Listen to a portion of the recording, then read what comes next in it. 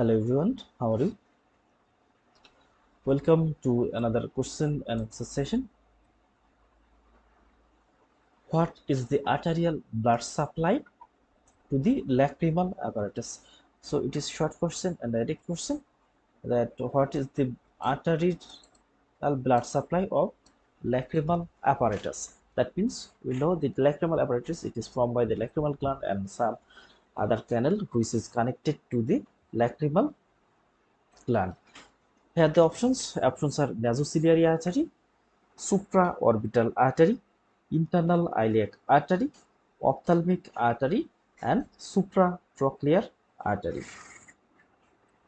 So in this picture we can see this is the orbital cavity and here this is the eyeball and in this picture this is the lacrimal gland and we can see a artery supplying the lacrimal gland and this artery is arising from the internal carotid artery and passes through the optic canal. So we have to know the name of this artery. So in this picture we can see this is the lacrimal gland and sub it supplied by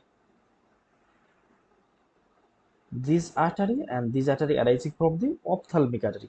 So the lacrimal apparatus it is supplied by the ophthalmic artery and we can see this ophthalmic artery it is branched from the internal carotid artery. And ophthalmic artery it passes through the optic canal with the optic nerve.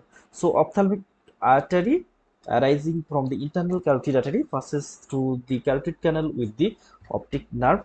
It reaches in the orbital cavity and it supplies all the uh, content which lies in the orbital cavity including the lacrimal apparatus.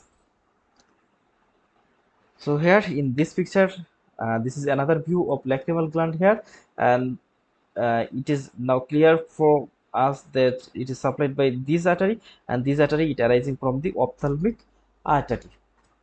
So our answer is the ophthalmic artery this ophthalmic artery it supplies the lacrimal apparatus and other content within the orbital cavity